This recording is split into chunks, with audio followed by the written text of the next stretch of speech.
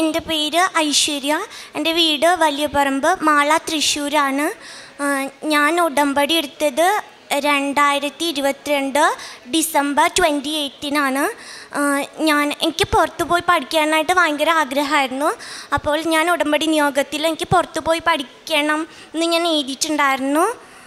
അങ്ങനെ അപ്പോൾ ഞാൻ പോകാമെന്ന് വിചാരിച്ചത് യു കെ അല്ലെങ്കിൽ ജർമ്മനി പിന്നെ കാനഡ ഇത് മൂന്നായിരുന്നു വിചാരിച്ചിട്ടുണ്ടായിരുന്നത്. കാരണം എന്താ വെച്ചാൽ എന്റെ ചീച്ചിയും പിന്നെ എന്റെ ബ്രദറും ഉണ്ടായിരുന്നു അവിടെ. അപ്പോൾ അത് വെച്ച് കണ്ടിന്യൂ ചെയ്യാമെന്നാണ് വിചാരിച്ചത് അങ്ങനെ നോക്കിയപ്പോഴേക്കും അവിടെ റൂൾസൊക്കെ ചേഞ്ച് ആയപ്പോൾ ബ്രദറും ചീച്ചിയും പറഞ്ഞു വേറെ ഏതെങ്കിലും കൂടി നമുക്ക് ട്രൈ ചെയ്യാം. എന്നിട്ട് ഇവിടേക്ക് നോക്കിയാൽ മതി. കാരണം എന്താ വെച്ചാൽ അവിടെ ഇപ്പോൾ ഭയങ്കര പ്രയാസമാണ് പറഞ്ഞു. അപ്പോൾ ഇങ്ങനെ അമ്മ മാതാവിനോട് ഇങ്ങനെ പറഞ്ഞു പ്രാർത്ഥിച്ചു. ഒരു നല്ല കൺട്രി അമ്മ മാതാവ് പറഞ്ഞു തരണേന്ന്. അങ്ങനെ അമ്മ മാതാവ് എനിക്ക് സ്വീഡൻ അങ്ങനെ ഞങ്ങൾ സ്വീഡൻ ചൂസ് ചെയ്തു. അമ്മ മാതാവ് പറഞ്ഞു തന്നതാണത്. അപ്പോൾ പ്രോസസ്സ് തുടങ്ങണേക്കാട്ടും മുമ്പ് അവർ പറഞ്ഞു ഐ എൽ ടി എസ് വേണമെന്ന് പറഞ്ഞു. അപ്പോൾ ഒട്ടും ടൈം ഉണ്ടായിരുന്നില്ല. അപ്പോൾ വേഗം എഴുതി എടുക്കണമെന്ന് പറഞ്ഞു. അപ്പോൾ ഞാൻ ഒരു ഒരു മാസം ഒന്നര മാസം പോയിട്ടില്ല. അത്ര തന്നെ പോയിട്ടുള്ളൂ കോച്ചിങ്ങിന് വേണ്ടിയിട്ട്. അപ്പോൾ എനിക്ക് പോകുമ്പോൾ ഞാൻ എനിക്ക് എളുപ്പമുള്ളത് സ്പീക്കിങ്ങും റൈറ്റിങ്ങും ആയിരുന്നു. എനിക്ക് എപ്പോഴും സ്കോർ അതിനാണ് കിട്ടാറ് ക്ലാസ്സിൽ പോകുമ്പോൾ. ലിസണിങ്ങും റീഡിങ്ങും എനിക്ക് ഭയങ്കര പാടായിരുന്നു. അങ്ങനെ എക്സാമിന് പോയപ്പോൾ അമ്മ മാതാവിന്റെ കാശിരൂപം കയ്യിൽ ഇങ്ങനെ ചരടിൽ കെട്ടി അത് പിടിച്ച് വെച്ചിട്ടാണ് ഞാൻ എക്സാമിന് പോയത്. അപ്പോൾ സ്പീക്കിംഗ് ആയിരുന്നു ഫസ്റ്റ് സ്പീക്കിംഗ് കഴിഞ്ഞിട്ട് ഞാൻ അമ്മേനോട് പറഞ്ഞു എനിക്ക് നല്ല എളുപ്പമായിരുന്നു കാരണം എന്താ വെച്ചാൽ എനിക്കെല്ലാം പറയാൻ പറ്റി നന്നായിട്ട്. അപ്പോൾ ഞാൻ ഞാൻ കോൺഫിഡന്റ് ആയിരുന്നു. അത് കഴിഞ്ഞിട്ട് എനിക്ക് ലിസണിങ്ങും റീഡിങ്ങും എനിക്ക് ഭയങ്കര പാടായിരുന്നു. ഞാൻ എക്സാം കഴിഞ്ഞ് ഇറങ്ങിയപ്പോൾ അമ്മേനോട് പറഞ്ഞു അമ്മ കിട്ടില്ല എന്തായാലും കിട്ടില്ല. കാരണം എന്താ വെച്ചാൽ എനിക്ക് അത്രയ്ക്കും പാടായിരുന്നു. അപ്പോൾ റിസൾട്ട് അപ്പം ഞാൻ പ്രാർത്ഥിക്കുമ്പോൾ അമ്മ മാതാവിനോട് ഈശോപ്പനോടും പറയും എനിക്ക് ലിസണിങ്ങിലും റീഡിങ്ങിലും എങ്ങനെയെങ്കിലും മാർക്ക് തന്നെ ജയിപ്പിക്കണേന്ന് പറഞ്ഞിട്ട് തന്നെ എപ്പോഴും പ്രാർത്ഥിക്കാം.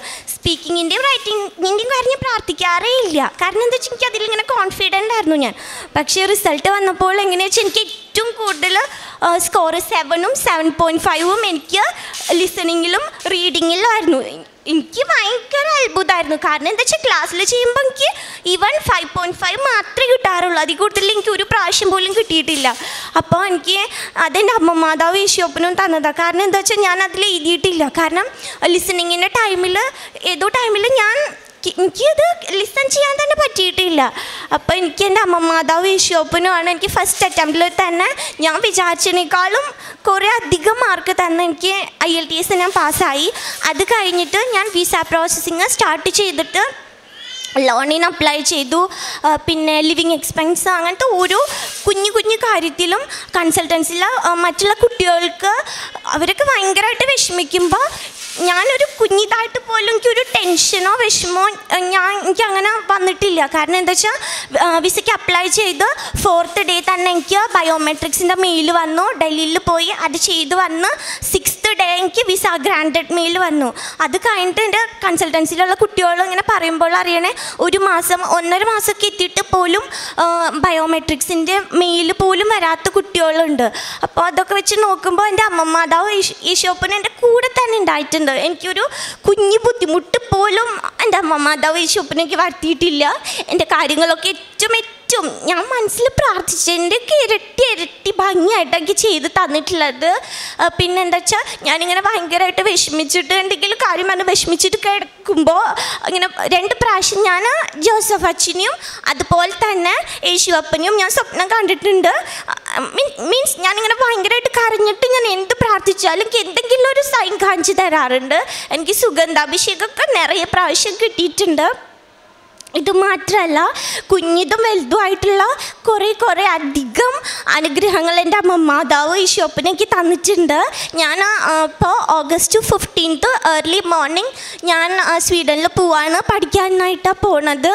അപ്പോൾ എന്റെ അമ്മമാതാവ് ഈശോപ്പനും എന്റെ കൂടെ ഉണ്ടെന്നുള്ള ആ ധൈര്യം കൊണ്ടിട്ടാണ് ഞാൻ പോണത്. കാരണം എന്താ വെച്ചാൽ ഞാൻ ഇതുവരെ വീട്ടിൽ നിന്ന് മാറി നിന്നിട്ടില്ല. അപ്പോൾ ഫസ്റ്റ് ടൈമാണ് ഞാൻ പോണത്. എനിക്ക് പക്ഷേ എന്റെ അമ്മമാതാവ് എന്റെ ഈശോപ്പൻ കൂടെ ഉണ്ടല്ലോ. അപ്പോൾ എനിക്ക് അവിടെ ചെന്നാലും എനിക്ക് എല്ലാ കാര്യങ്ങളും ഭംഗിയായിട്ട് നടക്കും എനിക്ക് അത്രയ്ക്കും വിശ്വാസമുണ്ട്. പിന്നെ ഞങ്ങൾ വീട്ടിൽ കുഞ്ഞു വയ്യായികയോ അങ്ങനെ എന്തെങ്കിലും ഫീൽ ചെയ്താലും ഞങ്ങൾ വേഗം ഉപ്പ് തേന് അതാണ് ഉപയോഗിക്കാറുള്ളത്. അപ്പം തന്നെ മാറും. എന്റെ ഫ്രണ്ട്സിന്റെ അടുത്തൊക്കെ ഞാൻ അമ്മമാതാവിന്റെ ഷോപ്പിന്റെ കാര്യം പറഞ്ഞിട്ടുണ്ട്. അപ്പോഴൊക്കെ അവരെന്തെങ്കിലും കാര്യം വരുമ്പോൾ എന്റെ അടുത്ത് പ്രാർത്ഥിക്കൂ പറയാറുണ്ട്. ഞാൻ പ്രാർത്ഥിക്കുമ്പോൾ ഒക്കെ അവർക്ക് അവർക്ക് എല്ലാവർക്കും ആ കാര്യങ്ങളൊക്കെ അമ്മ മാതാവ് ഷോപ്പിന് നടത്തി കൊടുത്തിട്ടുണ്ട്. അത് കേൾക്കുമ്പോൾ എനിക്ക് ഭയങ്കര സന്തോഷമാണ് നമ്മൾ മറ്റുള്ളവർക്ക് വേണ്ടിയിട്ട് പ്രാർത്ഥി ക്കുമ്പോൾ നമ്മൾക്ക് നമ്മൾ നമുക്ക് വേണ്ടി പ്രാർത്ഥിക്കേണ്ട ആവശ്യമില്ല. നമ്മൾ മറ്റുള്ളവർക്ക് വേണ്ടിയിട്ട് പ്രാർത്ഥിച്ചാൽ മതി. അപ്പോൾ നമ്മുടെ അമ്മ മാതാവ് ഷോപ്പിനും നമ്മുടെ ആഗ്രഹം നമ്മൾ വിചാരിക്കണേന്റെ ഒരു ആയിരം ഇരട്ടി ഭാഗ്യമായിട്ട് സാധിച്ചു തരും. ഞാൻ എന്റെ അനുഭവത്തിൽ നിന്നാണ് പറയണേ ഞാൻ ഓഗസ്റ്റ് ഫിഫ്റ്റീൻത്തിന് സ്വീഡനിൽ പോവാണ്. എല്ലാവരും എനിക്ക് വേണ്ടിയിട്ട് പ്രാർത്ഥിക്കണം. പിന്നെ കാരുണ്യം പ്രവർത്തി ചെയ്യാറുള്ളത് എന്താ വെച്ചാൽ ഞങ്ങളുടെ വീടിന്റെ അടുത്ത് അമ്മമ്മമാരുടെ ഒരു ഓൾഡ് ഏജ് ഹോമുണ്ട് അപ്പോൾ അവിടെ ഞങ്ങൾ പോയിട്ട് അമ്മമ്മമാരെ ഹെൽപ്പ് ചെയ്യാറുണ്ട്. അവരുടെ റൂമൊക്കെ ക്ലീൻ ചെയ്ത് കൊടുക്കാറുണ്ട്. കുളിപ്പിക്കാനൊക്കെ ഹെൽപ്പ് ചെയ്യാറുണ്ട്. പിന്നെ അമ്മമ്മമാരെ നെഗൊക്കെ കട്ട് ചെയ്ത് കൊടുക്കാറുണ്ട്. പിന്നെ അമ്മമ്മമാരുടെ അടുത്ത് ഇരുന്ന് പട്ടണം പറയാറുണ്ട്. അവർക്ക് ഏറ്റവും ഇഷ്ടം അവരുടെ അടുത്ത് ഇരുന്ന് ടൈം സ്പെൻഡ് ചെയ്യണ്ട. ഇങ്ങനെ വർത്താനം പറയുമ്പോൾ അവർ നമ്മളെ മുഖത്തൊക്കെ പിടിച്ച് നന്നായി വരും. നന്നായി ഏറ്റവും നല്ലത് കിട്ടും. ഞാൻ അങ്ങനെ പറയും. എനിക്കിങ്ങനെ പുറത്ത് പോയിട്ട് പഠിക്കണം അമ്മ പ്രാർത്ഥിക്കണം എന്ന് ഓരോരുത്തരുടെ അടുത്ത് പറയുമ്പോൾ അവർ പറയും പറ്റും. അവർക്ക് ഭയങ്കര സന്തോഷം. നമ്മളിങ്ങനെ വർത്താനം പറയുമ്പോൾ എനിക്ക് വെച്ചാൽ അമ്മമാരെ അപ്പൂപ്പന്മാരെ ഭയങ്കര ഇഷ്ടമാണ് അപ്പോൾ അങ്ങനെ പോവാറുണ്ട് അമ്മമാരുടെ അടുത്ത്. പിന്നെ ഞങ്ങൾ ഗവൺമെന്റ് ഹോസ്പിറ്റലിൽ പോവാറുണ്ട്. പൊതിച്ചോറ് കൊടുക്കാറുണ്ട്. ഇങ്ങനെ അമ്പലത്തിന്റെയും പള്ളിയുടെയൊക്കെ ഇങ്ങനെ ഫ്രണ്ടിലൂടെ പോകുമ്പോൾ അവിടെ ഇരിക്കുന്ന അമ്മാമ്മമാർക്കും അപ്പാപ്പന്മാരും ആരും ഇല്ലാത്തവർക്കൊക്കെ ഭക്ഷണം പൊതിച്ചോറ് കൊണ്ടുപോയി കൊടുക്കാറുണ്ട്. പിന്നെ അവർ ഹോസ്പിറ്റലിൽ ചെല്ലുമ്പോൾ ഇങ്ങനെ തീരെ വയ്യാണ്ട് കിടക്കേണ്ട കിടക്കുന്നവരുടെ അടുത്തിരുന്നിട്ട് എന്തിട്ടാ പറ്റി ചോദിച്ചിട്ട് അവർക്ക് വേണ്ടിയിട്ട് ഇങ്ങനെ പ്രാർത്ഥിക്കാറുണ്ട് അവരുടെ അടുത്തിരുന്നിട്ട് പിന്നെ പത്രം പത്രം ഞങ്ങളിങ്ങനെ ഹോസ്പിറ്റലിലും അവിടെ അറിയുന്ന സ്ഥലത്തെല്ലാം കൊടുക്കാറുണ്ട്. ഇത് മാത്രമല്ല നിറയെ ഉണ്ട്. നിറയെ കുഞ്ഞു കുഞ്ഞു കാര്യങ്ങളും വലിയ കാര്യങ്ങളൊക്കെ അമ്മ മാതാവ് ശപ്പനും നടത്തി തന്നിട്ടുണ്ട്. അതിന് അമ്മ മാതാവിനോടും ഈശോപ്പനോടും ഒരായിരം കോടി നന്ദി പറയാണ്. പരിശുദ്ധ അമ്മയുടെ മധ്യസ്ഥതയിൽ ഇപ്പോൾ വളരെ വ്യക്തമായിട്ട് സാക്ഷ്യം പറയാനായിട്ട് ദൈവം ഇടവരുത്തി എന്നുള്ളതാണ്. ഒന്നാമത്തേത് ഈശോനെക്കുറിച്ചും മാതാവിനെക്കുറിച്ചും അവ ഒരു അനുഭവം ലഭിക്കുക സ്വപ്നം കാണുക അവരുടെ സാന്നിധ്യം കൂടെ ഉണ്ട് എന്നുള്ള വലിയ ഒരു അനുഭവ തലത്തിൽ നിന്നാണ് സംസാരിക്കുന്നത്. അത് കേട്ടറിയുന്നതിനെക്കുറിച്ചും പഠിക്കുന്നതിനേക്കാളും അപ്പുറമാണ്. കാരണം ഈശോനെക്കുറിച്ചും മാതാവിനെക്കുറിച്ചും ഒരുപാട് പഠിച്ചാലോ വായിച്ചാലോ ഒന്നും അനുഭവം കിട്ടുന്നത് വരെ അതൊന്നും നമുക്കൊരു ഒരു സത്യമായിട്ട് തോന്നണമെന്ന് പോലും നിർബന്ധമില്ല. അത് സത്യമാണെന്ന് തോന്നുമ്പോൾ മാത്രമേ നമുക്കത് വേറൊരാളോട് പറയാൻ തോന്നത്തുള്ളൂ. അതുകൊണ്ടാണ് നമ്മുടെ സംഭാഷണത്തിലും നമ്മുടെ ഇതിലൊന്നും ഈശോയും മാതാവിനെക്കുറിച്ച് ഒരാളോട് പോലും പറയാനായിട്ട് തോന്നില്ല. എന്തിനാ പറയുന്നുള്ളൊരു ചിന്തയൊക്കെ വരുമ്പോൾ അതിന്റെ അർത്ഥം നമുക്ക് ഇത്രയും നാളായിട്ട് വ്യക്തമായിട്ടൊരു ദൈവാനുഭവം ഈ കാര്യത്തിൽ ഉണ്ടായിട്ടില്ല എന്നുള്ളതാണ്. കാരണം ഏറ്റവും നല്ലത് എന്താണോ അത് മറ്റുള്ളവരോട് പറയുക എന്നത് മാനുഷികത ഇപ്പോൾ ഏറ്റവും നല്ല സിനിമയോ ഏറ്റവും നല്ല ഭക്ഷണമോ ഏറ്റവും നല്ല ഡോക്ടറോ ഇതെല്ലാം നമ്മൾ മറ്റുള്ളവരുടെ ഒരു ആവശ്യം ഉണ്ടാകുമ്പോൾ പറയും. അപ്പം നമ്മുടെ ഒരു ദൈവ സാന്നിധ്യത്തിനെക്കുറിച്ചും ജപമാലയെക്കുറിച്ചും പരിശുദ്ധ അമ്മയെക്കുറിച്ചും ഉടമ്പടിയെക്കുറിച്ചും നമുക്ക് ഒരാളോട് പറയാൻ തോന്നില്ലെങ്കിൽ നമ്മൾ വിശ്വാസത്തിൽ നമുക്കൊരു അനുഭവം കിട്ടിയിട്ടെന്നുള്ള അത് നമ്മുടെ കുറ്റമല്ല. പക്ഷേ രണ്ടാമത് ഈ അനുഭവം വെറുതെ ഇരുന്ന് പ്രാർത്ഥിച്ചാൽ ഉണ്ടാവുന്ന അനുഭവമല്ല. അങ്ങനെയാണെങ്കിൽ പിന്നെ ഓരോ ഇത് കഴിയുമ്പോഴും അനുഭവങ്ങൾ ഒരുപാട് പേർ ഉണ്ടാവണമല്ലോ. അത് പ്രാർത്ഥന കൊണ്ട് മാത്രമല്ല ആ പ്രാർത്ഥിക്കുന്ന എന്താണോ അതിനുവേണ്ടി നമ്മൾ പ്രവർത്തിക്കുകയും കൂടി ചെയ്യണമെന്നുള്ളതാണ് ഇത് ഉടമ്പടിയുടെ ലോജിക്കല്ല ഇത് കർത്താവ് എന്താണോ ചെയ്തതെന്നുള്ളതാണല്ലോ ഏറ്റവും ബേസിക് വിശ്വാസത്തിന്റെ അടിസ്ഥാനം. കർത്താവിനെക്കുറിച്ച് പറയുന്നത് ഭക്ഷണം കഴിക്കാൻ പോലും സമയമില്ലാതെ അവൻ ഓടി നടന്ന് മറ്റുള്ളവർക്ക് നന്മ ചെയ്തു എന്നുള്ളതാണ്. ഈ മറ്റുള്ളവർക്ക് ഓടി നടന്ന് ശരീരം കൊണ്ടും സമ്പത്ത് കൊണ്ടും നന്മ ചെയ്യാതെ ഉള്ള പ്രാർത്ഥന ദൈവത്തിന് മുമ്പിൽ സീറോ ആണെന്നുള്ളത് അത് കർത്താവ് പറയാനുണ്ട് കർത്താവെ കർത്താവ് എന്ന് വിളിക്കുന്നവനല്ല.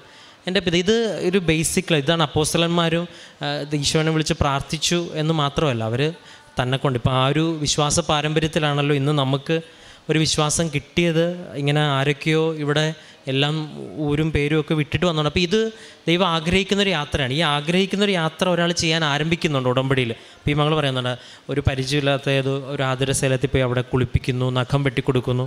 അതിനേക്കാൾ ഉപരി ഇവക്ക് ഈ മകൾക്ക് കിട്ടിയ ഒരു ബോധ്യം അവർക്ക് വേണ്ടി സമയം സ്പെൻഡ് ചെയ്യുന്നതായിട്ട് ഇപ്പോൾ ഈ ചെറുപ്പ കാലഘട്ടത്തിൽ തന്നെ ഒരു പരിചയമില്ലാത്തവരെ പരിചരിക്കാനും ശുശ്രൂഷ ചെയ്യാനും ഉള്ളൊരു അഭിഷേകം ദൈവം കൊടുക്കുന്നു. അപ്പോൾ ഇങ്ങനെ ഒരുപാട് ഇപ്പോൾ അതൊക്കെ വളരെ ചുരുങ്ങിയ ഭാഷയാണ്. കുഞ്ഞു കുഞ്ഞു അനുഭവങ്ങൾ ഒരുപാടുണ്ട്. അപ്പോൾ ഇത് കണക്ക് മറ്റുള്ളവർക്ക് വേണ്ടി കൈയും കാലും ഒക്കെ അനങ്ങി തുടങ്ങുമ്പോഴും ഒന്നും പ്രതീക്ഷിക്കാതെ ചെയ്തു തുടങ്ങുമ്പോഴും എന്തിനു ചെയ്യുന്നു എന്നുള്ള ചോദ്യത്തിന് ദൈവം കൂടെ വരും എന്നുള്ളൊരു പ്രത്യാശയോടെയാണല്ലോ അപ്പോൾ അങ്ങനെയുള്ള ചെയ്തികളുടെ കുഴപ്പമാണ് ദൈവം സാന്നിധ്യം പ്രകടമാക്കുന്നത്. അതുകൊണ്ടാണ് ഈ മകൾ അത്രയും ബോധ്യത്തോടെ അപ്പോൾ ഇത് വലിയൊരു അനുഗ്രഹമാണ്. ഏറെ പ്രത്യേകിച്ച് ദൈവ ഈശോയും മാതാവും കൂടെ ഉണ്ട് എന്ന് അനുഭവിക്കാനായിട്ടൊക്കെ സാധിക്കുമെന്ന് പറഞ്ഞാൽ അത് ഉടമ്പടിയുടെ തന്നെ ഒരുപാട് പേർക്ക് ഉടമ്പടിയോട് സാധിക്കുന്നുണ്ട്. അപ്പം മാതാവിന് ഇതുപോലെ വളരെ ചെറുപ്പക്കാരായിട്ടുള്ളവർക്ക് ഇത്രയും ആഴത്തിൽ അനുഭവത്തിൽ ഇത്രയും പേരുടെ മുൻപിൽ ഇപ്പോഴും ഇനി ഭാവിയിൽ കേൾക്കാനിരിക്കുന്ന ഒരുപാട് പേരുടെ മുമ്പിൽ പറയാനായിട്ട് ഒരാൾക്ക് പറ്റുന്നുണ്ടെങ്കിൽ അതിനോടൊപ്പം ദൈവത്തിന്റെ വലിയൊരു സാന്നിധ്യമുണ്ട്. അപ്പോൾ ഈ മകളുടെ സാക്ഷ്യം കേൾക്കുമ്പം പ്രാർത്ഥിച്ച് കിട്ടി എന്നുള്ളതിനേക്കാളല്ല നമ്മൾ അടിവര ഇടേണ്ടത് അതിന്റെ പിന്നിൽ ഒരുപാട് പ്രവർത്തിച്ച് സ്നേഹത്തോടെ പോയിരുന്നിട്ടുണ്ട്. അതിനുള്ളൊരു ബോധ്യമുണ്ട്. അപ്പം ഇതൊക്കെ ചെയ്യണമെന്ന് എല്ലാവർക്കും അറിയാം. പക്ഷേ ഉടമ്പടിയിലേക്ക് വരുമ്പോൾ ഇതിന് നമുക്കൊരു മോട്ടിവേഷനുണ്ട്. കാരണം ഇത് ചെയ്താൽ ഇത് ലഭിക്കും എന്നുള്ളൊരു പ്രത്യാശയുണ്ട്.